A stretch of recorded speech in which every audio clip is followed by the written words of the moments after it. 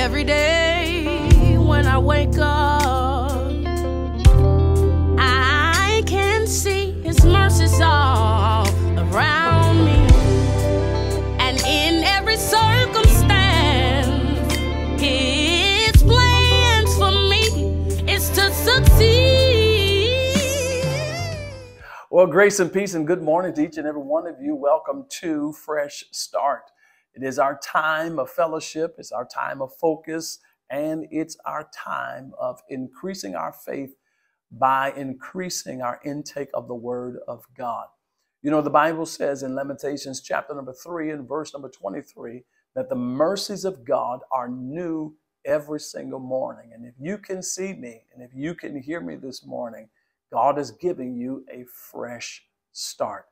Fresh start is our time again of fellowship, increasing our faith in the Word of God, and making sure that we have the right focus as we step into this brand new day.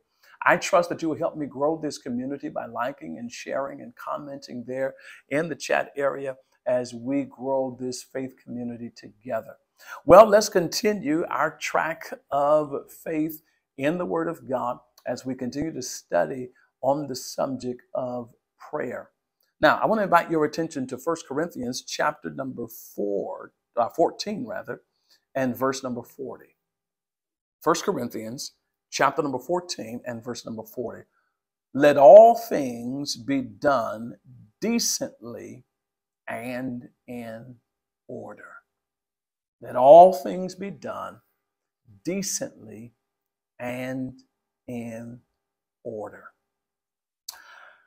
I bank locally, as many of you do, um, and I choose to use bank locations that are near my house. It's just convenient, and um, there's there's nothing like going to the bank um, and um, noticing that you can't get the services that you that you want. I do a lot with my phone, as some of you do, and I use the, the ATM. And there are times when I pull up to my bank and I pull to the ATM and it says something to the effect of uh, that it's out of order or it's not working or we're not receiving deposits today or something along that line. And if you're like me, when you are in need and you go to the place where you're supposed to find that need or receive that need, and you are told it's out of order, uh, it's not working today. Um, if you're like me, um, if you're in the busy in, in, the middle of a busy day, uh, you might get frustrated. You know, anxiety may kick in because you know you need something and it's out of order. I want to ask you something today, and it's simply this Is there anything in your life that's out of order? Is there anything in your life that's out of order? Finances, your relationship, your emotional state? Is there anything in your life right now that's out of order?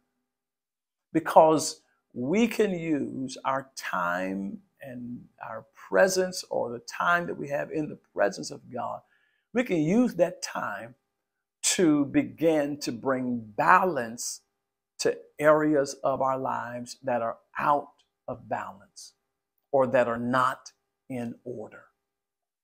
Notice the scripture in 1 Corinthians 14 and verse number 40 he does not say, let some things be done decently and in order. He says, let all things be done decently and in order. And so I want to challenge you on this fresh day. I want you to take the same authority that we talked about on yesterday, and I want you to bring something in order today. Something that you know that's out of order, if you can't bring it into order today, at least begin the process of bringing that area of your life into order. Because the Bible tells us very plainly that as we pray, we can ask God for wisdom. And if it's wisdom that you need, God's got plenty of it.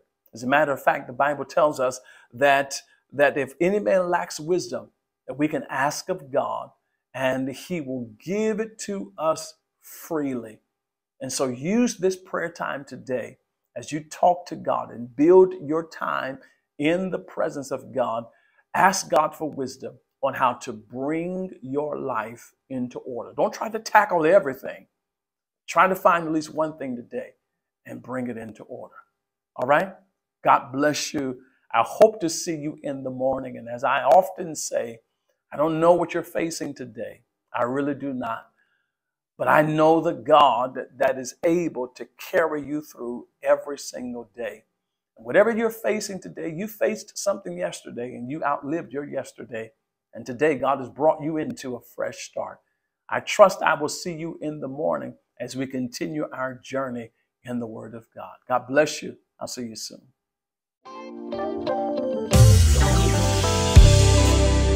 Every day when I wake up,